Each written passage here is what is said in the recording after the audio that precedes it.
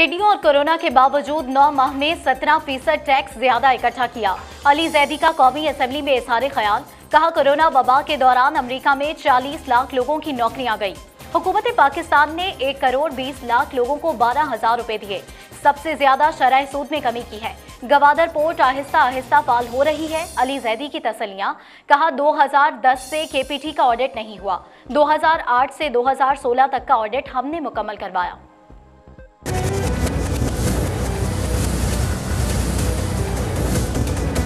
KPT का कभी audit ही नहीं हुआ था। 2008 से पोर्ट कासिम का कभी ऑडिट नहीं हुआ था। टेंडरिंग प्रोसेस के थ्रू पहली दफ़ा केपीटी की सवा सौ साल की तारीख में स्टोर का ऑडिट कंप्लीट हो गया है। केपीटी का एक अस्पताल है स्पीकर साहब। 140 करोड़ रुपए खर्च होते हैं साल में।